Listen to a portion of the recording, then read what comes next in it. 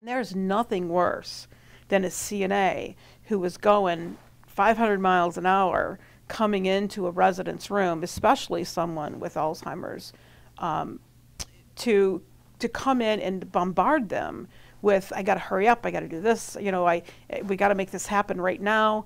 Um, in the end, they're going to have a resident who's going to rise to their level, their anxiety level, and nothing is going to be accomplished.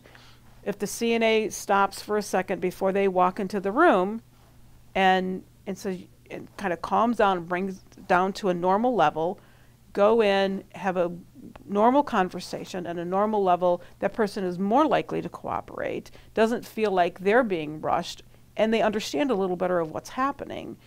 The, the care is going to happen much smoother for the CNA, and it's going to be much more enjoyable for the resident to receive that kind of care.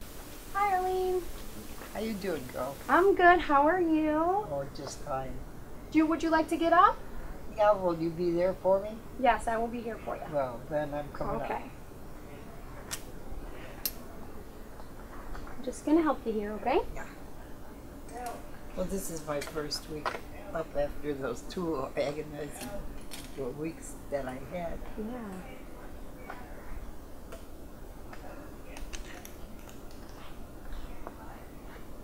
Okay. Is that not too tight? No, no, that's fine. Okay.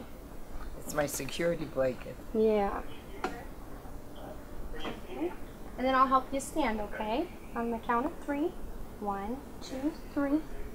Good job. Have you pivot towards the chair.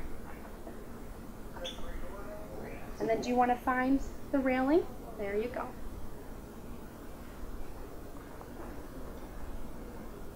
Nice and slow. Go ahead and have a seat, okay? If you watch some of the best Thank CNAs you. I've ever Well, seen, they You're just they, they roll with it. They go with the flow. You know, they may do one thing here and one thing there, but they don't get excited. All they just Jerry. keep going with it with a smile on their face, taking care of their residents with loving care. And they accomplish what they need to accomplish. All those tasks are accomplished and their residents are happy. I mean, that's what they all want to that's what they all are striving for. By the time they go home at the end of the day, that that's what's happened.